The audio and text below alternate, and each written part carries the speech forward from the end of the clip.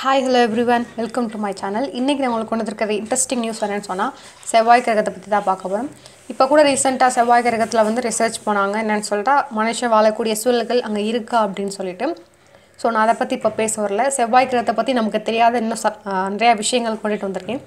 So நம்ம channel இதான் first time பார்க்குறீங்கன்னா ஷேர் பண்ணுங்கள் சப்ஸ்கிரைப் பண்ணுங்கள் இப்போ வாங்க வீடியோக்குள்ளே போகலாம் சூரிய குடும்பத்தோட நாலாவது கோள் தான் செவ்வாய் கிரகம் அப்படின்னு சொல்கிறாங்க இதை வந்து சிவப்பு கிரகம் அப்படின்னு சொல்லுவாங்க.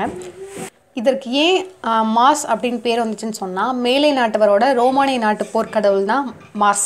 அவரோட பேரை தான் வந்து இந்த கிரகத்துக்கு வச்சுருக்காங்க அப்படின்னு சொல்கிறாங்க முதன் முதல்ல வந்து இதை யார் பதிவு செஞ்சாங்க அப்படின்னு சொன்னால் எகிப்திய வானிய வானியல் அறிஞர்கள் தான் பதிவு செஞ்சுருக்காங்க. எந்த நூற்றாண்டுன்னு சொன்னால் கிமு ரெண்டாம் நூற்றாண்டில் வந்து பதிவு செஞ்சதாக சொல்கிறாங்க அப்புறம் பார்த்தோன்னா அதோட சிவப்புத்தன்மை அதுக்கு என்ன காரணம் அப்படின்னு சொன்னால் அதில் இருக்கக்கூடிய துரு கலந்த மணல் அப்படின்னு சொல்கிறாங்க அப்புறம் வந்து அதில் இருக்கக்கூடிய இரும்பு கனிமங்கள் அப்புறம் அழுக்கடைந்த அப்புறம் ரொம்ப மோசமான வளிமண்டலம் தான் இதுக்கு எல்லாத்துக்கும் காரணம் அப்படின்னு சொல்கிறாங்க இதில் வந்து செவ்வாய் கிரகத்தில் வந்து புவியீர்ப்பு விசை குறைவு.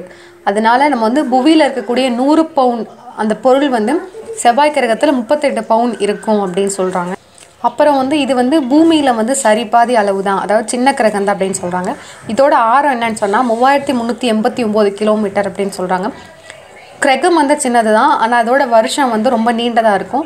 ஒரு வருஷத்துக்கு அறுநூற்றி எண்பத்தி ஏழு நாட்கள். நமக்கு ஒரு வருஷத்துக்கு முந்நூற்றி அறுபத்தஞ்சு நாட்கள். ஆனால் அங்கே வந்து அறுநூற்றி எண்பத்தி ஏழு நாட்கள் அப்படின்னு சொல்கிறாங்க இது வந்து தன்னையும் சுற்றி பூமியையும் சுற்றக்கூடிய நேரம் வந்து இருபத்தி நாலு மணி நேரம் அப்படின்னு சொல்கிறாங்க சூரியன்லேருந்து இரநூத்தி இருபத்தெட்டு கிலோமீட்டர் டிஸ்டன்ஸில் இருக்குது அப்படின்னு சொல்கிறாங்க இதோட வளிமண்டலம் வந்து ரொம்ப மெல்லியது.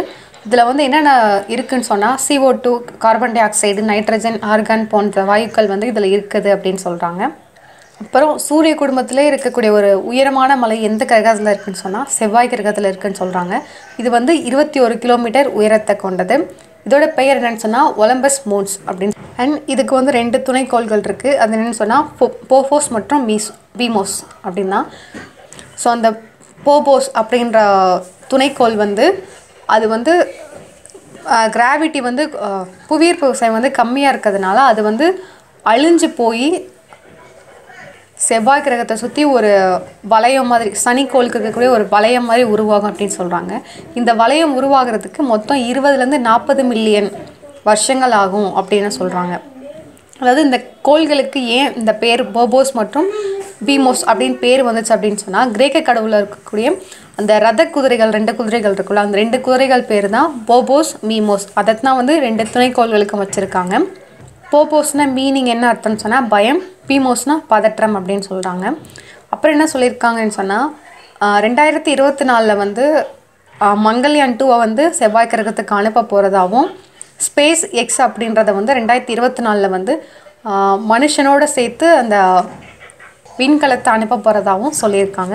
ஸோ இந்த வீடியோ உங்களுக்கு பிடிச்சிருந்துச்சுன்னா ஷேர் பண்ணுங்கள் சப்ஸ்கிரைப் பண்ணுங்கள் தேங்க்யூ ஃபார் வாட்சிங் இன்னொரு இன்ட்ரெஸ்டிங் நியூஸோட உங்ககிட்ட வரது ஸ்வேதா. பாய்